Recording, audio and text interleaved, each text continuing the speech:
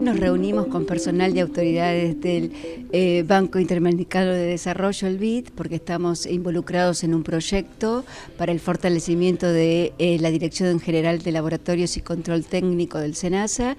que involucra no solo laboratorio central, sino también laboratorios regionales eh, distribuidos en todo el país. El objetivo de este proyecto es justamente incrementar y fortalecer las capacidades diagnósticos que el SENASA tiene a nivel del país, eh, haciendo remodelaciones, construyendo nuevos laboratorios, construyendo eh, el área del laboratorio vegetal que aún resta este, trasladarse desde Capital Federal hacia Martínez y también está eh, proyectado este, construir y remodelar algunos laboratorios regionales. Además, dentro de este proyecto eh, pensamos y, tenemos como objetivos eh, mejorar y aumentar los diagnósticos acreditados bajo la norma ISO 17025 para